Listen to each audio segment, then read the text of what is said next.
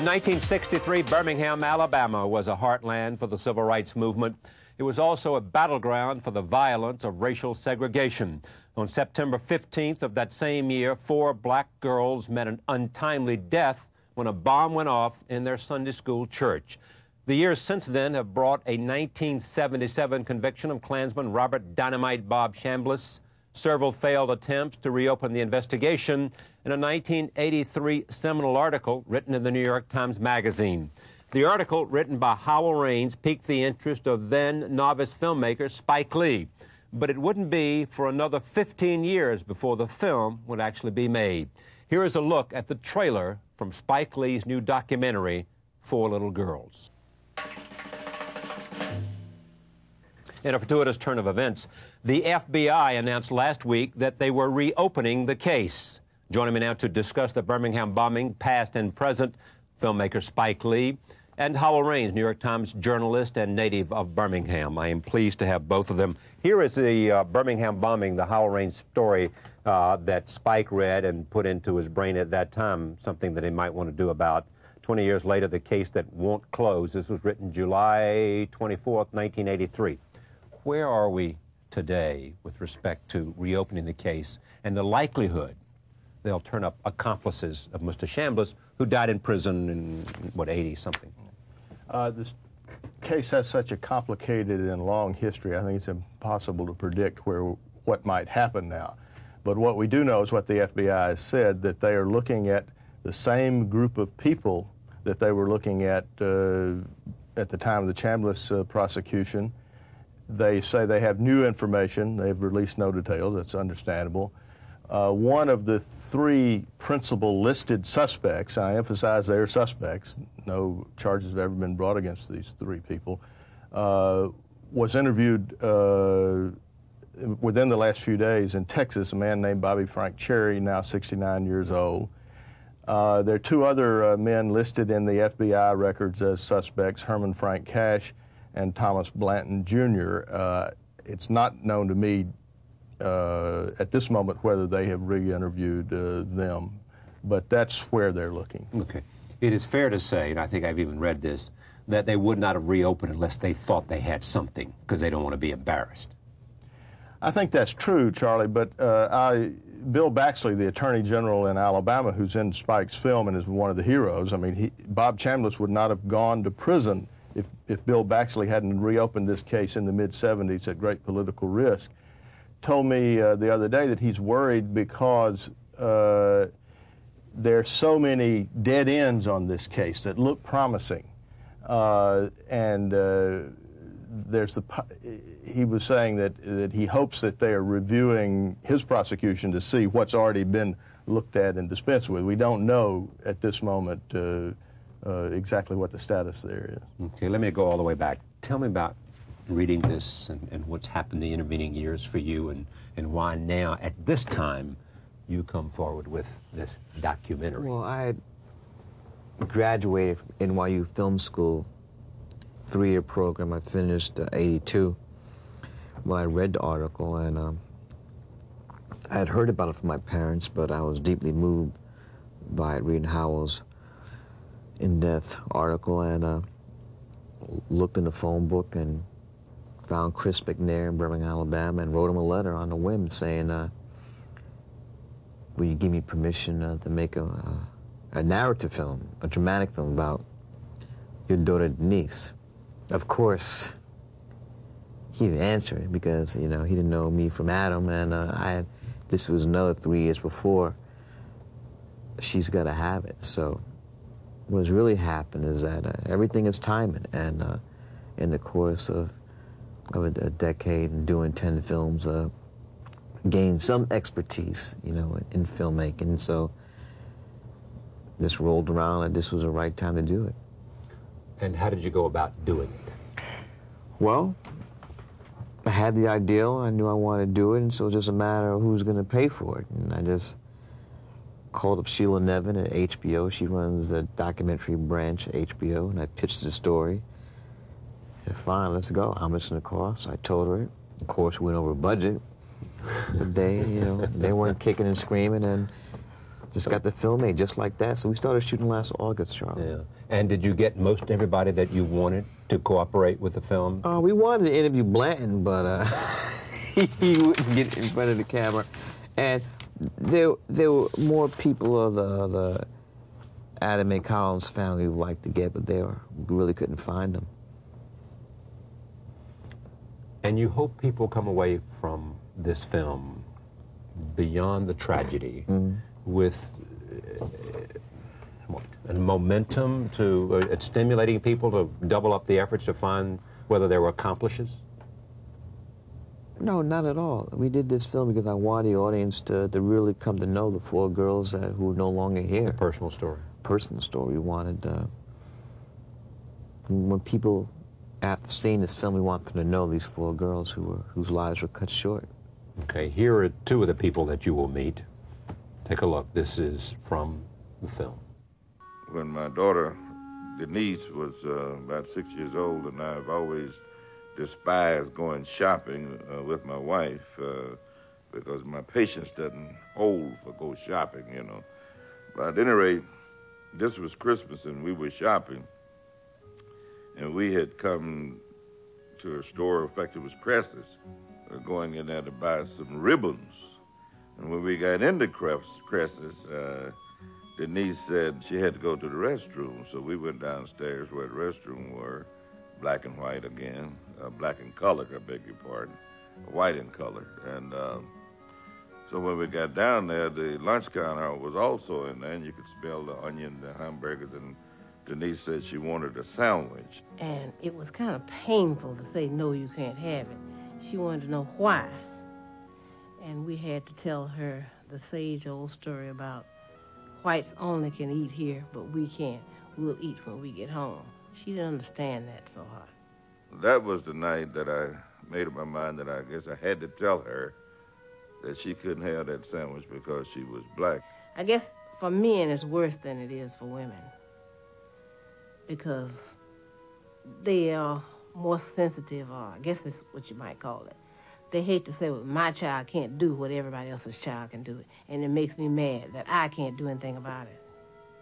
I can't change it right now. Well, I want you to know that night couldn't have been any more painful than seeing her laying up there with a rock smashed in her head than to tell her that I couldn't buy her that sandwich down there because she was black. And I'm not sure she ever understood that. What happens in this film is you come to know the people that died and the people that survived them, which is a powerful statement. It also helps you appreciate it, and how will help me understand this, how this was different than just one more terrible act of violence in the civil rights revolution. Uh, as Dr. King said, and as Andy Young says in the film, Birmingham was the place where segregation ended. And this event was the event that not only was pivotal along with the demonstrations that preceded the church bombing in changing segregation, but I think this was the event that changed Birmingham internally. Birmingham was never the same. Uh, the, the white resistance to segregation was never the same. Uh, and it's to see the images in Spike's film, Fred Shuttlesworth being beaten in the street, uh, to see the McNairs, whom I've known now for over 20 years, reminds me of the world that existed prior to September 15th, 1963. It's literally disappeared. That's one of the reasons that I uh, have been obsessed, I guess, is, is maybe only slightly too strong a word with this story for over 20 years. And one of the reasons this film moved me so much because this world no longer exists. And that, that's part of what this event is about. It's about many other things. Uh, like? Like many other things, including?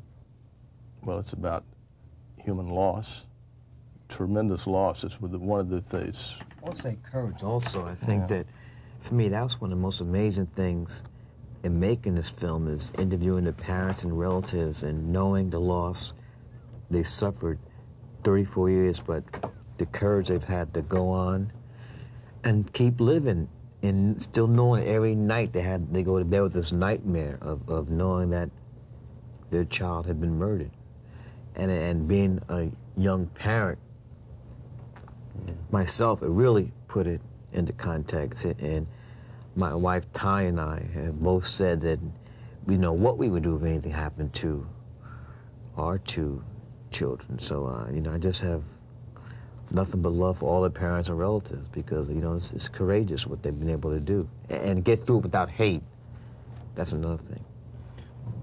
How about you? Did you get through it? Oh, I, I mean, Charles, I think that uh, if they got through with without hate, how could I hate anybody? So, uh, I mean, in reading some reviews, they were like, of this film, Spike's not angry. And yeah, I mean, it's, it's, another one said Spike has mellowed. It's ridiculous. First of all, forget about me. Just just look what's this film is not about me. You know, it's a documentary, and we just turn the camera on and let these people speak and tell their stories. How do you like making documentaries? Oh, I love it.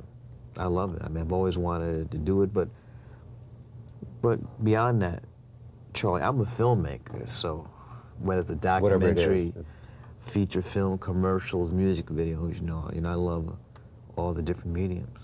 Tell me about the encounter with Governor Wallace.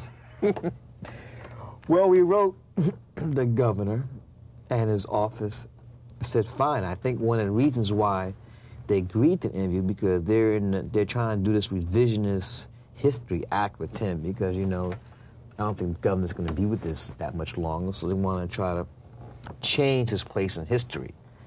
So they saw it as an opportunity to do this, and we got there. It was like 100 press people. They were really trying to make it this into a media event. They wanted a, a photo op. They wanted me to take pictures with the former governor, you know, and, and I squashed all that stuff. And so we just as you know, he's deaf, so we printed out the questions so he could read them. And then we just turned the camera on, and he just took over, and he just pulled Ed, his assistant, his black assistant, from the side twice. You know, that, we, that was not any trickery we did with the filmmaking, and um, he's really kind of pathetic. What do you think of Governor Wallace today? Well, no one can fail to have human sympathy for the terrible agony that he's gone through since he was shot. He said that he knows what it is to suffer. There was a thorn put in his flesh. But as someone who was watching television the day that he made that speech that's in this film, I have to say that I can't forget how much of this he created uh, he, he bears responsibility for by creating an environment with, that was conducive to it. John Young, one of the prosecutors in this case, said in the Birmingham News the other day, he said, I don't want anyone to forget George Wallace was responsible for the climate. events, Atmosphere. the climate that, that made this happen. And you have to understand this church bombing followed a summer of provocations. Wallace sending the highway patrol into Birmingham uh, at the time of the demonstrations in May and June. Wallace standing in the schoolhouse door in uh, midsummer, uh, spouting defiance at the Supreme Court and the or the federal courts and the federal government. Wallace going into Tuskegee and, and superseding a local superintendent who was peaceably abiding with uh, desegregation orders. Then this cataclysmic event, the unspeakable event uh, on September 15th. And of course, George Wallace denounced it. Uh, but even put up a and put up a reward. A reward right? uh, one of the th- and one of the things we now know was that his public service director helped disrupt the investigation. But Wallace was the state of Alabama in those days. His power was as close to absolute as it gets in a democratic situation. And the cl- Reverend Joseph Lowery at SCLC told me of a, a conversation he had with Wallace one time He was in the governor's office. Wallace was meeting Dr. King and some others. And Reverend Lowery said, he turned to Wallace and said, I want to speak to you not as a civil rights leader and member of SCLC, and you not as a governor, but I want to speak to you as a Methodist minister to a Methodist layman. And I want you to think about the fact that God is watching what's happening in Alabama, and he'll hold you accountable. Well, I'm not a theologian, and I wouldn't go as far as Joseph Lowery about who's accountable for what, but there was a core of truth there that uh, can't be denied. What did Wallace say to that? Did he think? When Lowery put it to him? Uh, as I recall, Lowery told me Wallace said, that he would think seriously about that. I mean, he's a courtly uh, man. But there's no question that what Lowery said was that when you shout defiance, the man in the street who's prone to violence takes it as an excuse to pick up a club or a stick of dynamite. Especially if it's the highest authority in the state. Yeah.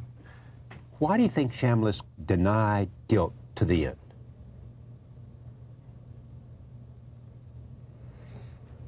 Code of honor, uh, maybe a Klan oath. I don't know, but uh, what's what's what I find troubling is that they know who did it. I mean, a couple days after the bomb went off, I think everybody knew who did it, and uh, J- Some of the J- names that he mentioned. Yes, all those guys, and J. Edgar Hoover knew that too, and they did a lot to to thwart, you know, the case. So I mean, this is this, supposedly it's a different FBI, you know, the the day we live in. So uh, Well, one, one thing I want to be careful, Spike. We know in court of law, one person's been convicted. We Oh, need to be very careful here for legal reasons. But one of the things that I'm proudest of, the thing I am proudest of in, in that this, article, uh, yeah.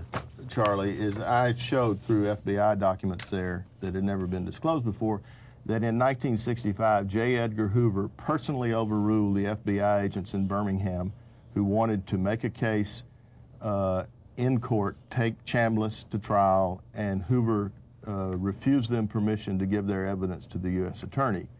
So Spike is right that the same body of information that is extant today was known uh, fully known between 1963 and 65. Hoover blocked the prosecution, presumably, and or this is my presumption because I think he didn't want to do anything that would help the civil rights movement or reflect favorably on Dr. King, who he hated. who he hated. Sure. That's, that's a historical fact. Um, why do you think Chambliss never talked?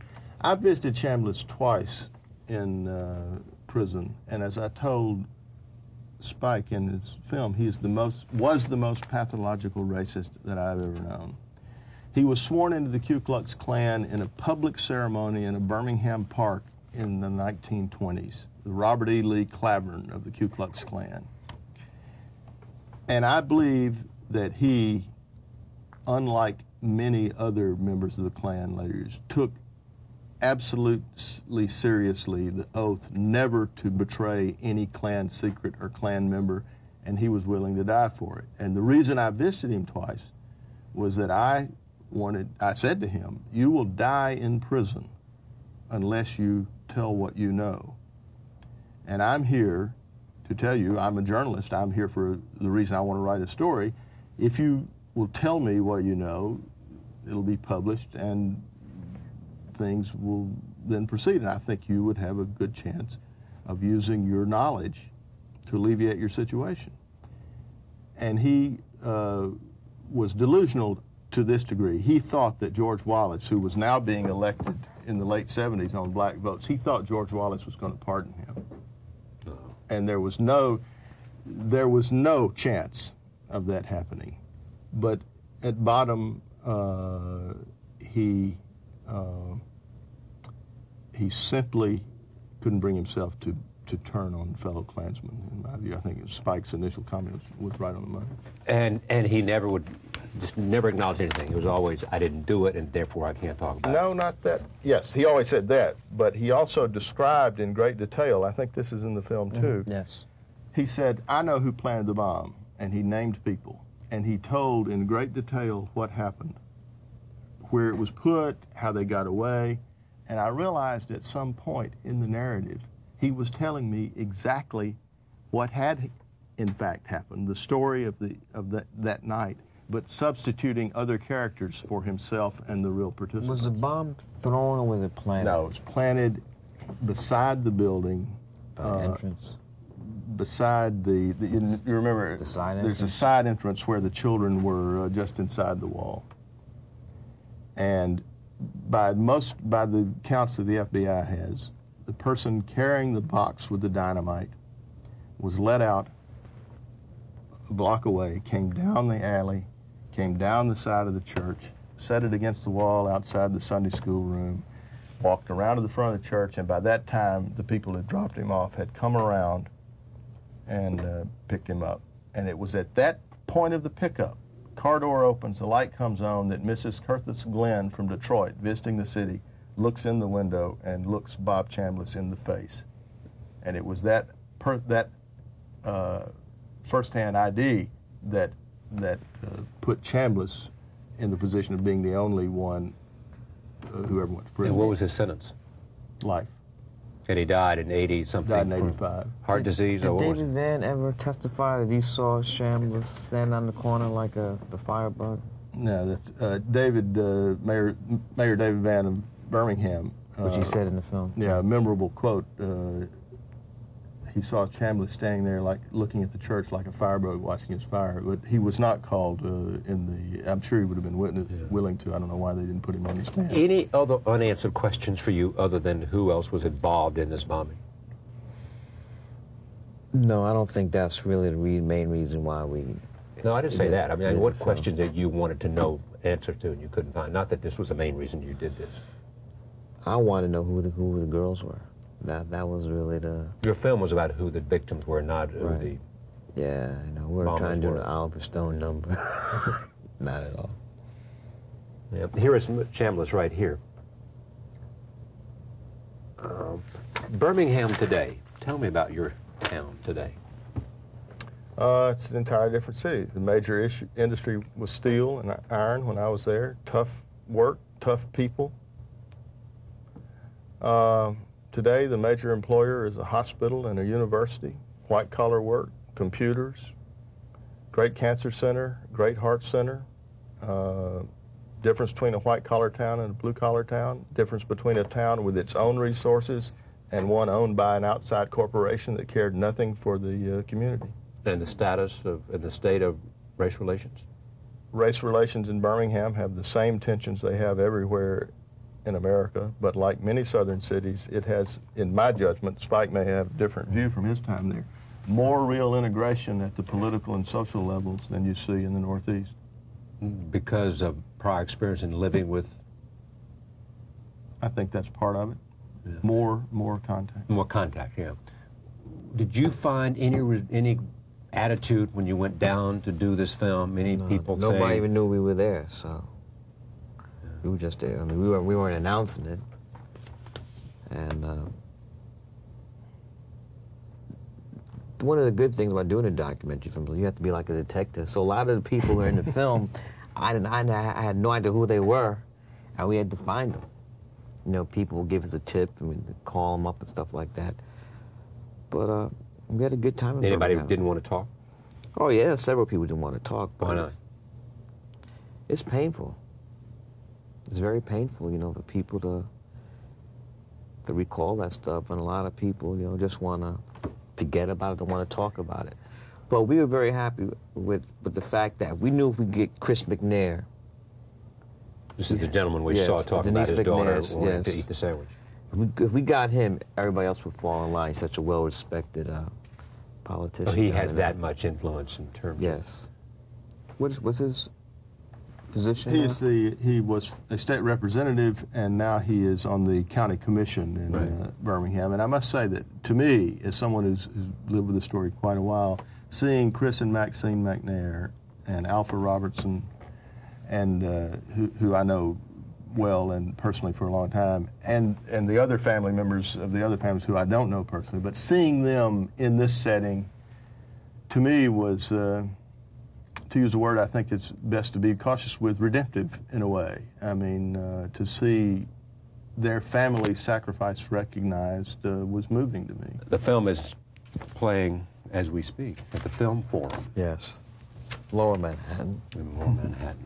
Um, Four Little Girls, an HBO production We've seen HBO in February be broadcast. on, on HBO, but On first it's got a cinematic releases. Right, we're going to be in nine other areas, excuse me, nine other areas. And playing in Birmingham? yes, the phone's ringing off the hook. We got to get a screening down there quick. All right, thanks buddy. for having us. Great to see you. Well, Thank you. Thank you. Good to see you. We'll be right back. Stay with us.